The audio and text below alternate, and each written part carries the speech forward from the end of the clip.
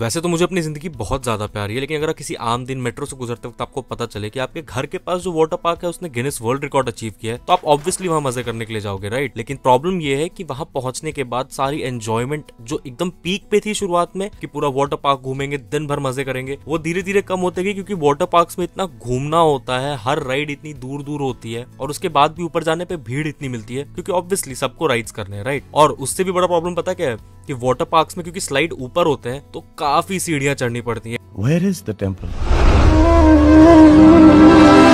लेकिन ऐसा कर भी नहीं सकते क्योंकि ये स्लाइड्स इतने ज़्यादा थ्रिलिंग है कि पूरा वाटर पार्क घूमना पड़ता है। और obviously this is one of the best attraction in Dubai और जहाँ मैं चल चल के दिन भर थक गया था, वहीं कुछ फिटनेस फ्रीक लोग पानी में भी दौड़ने के लिए रेडी थे। लेकिन पूरे वाटर पार्क के एक्सपीरियंस में ये राइड सबसे बेस्ट थी, जो शुरुआत तो बहुत हल्के आराम आराम से हुई थी, लेकिन ये राइड खत्म हुई थी जाके शार्क्स के बीच में। If you want to watch the full video check the pinned comment in the comment section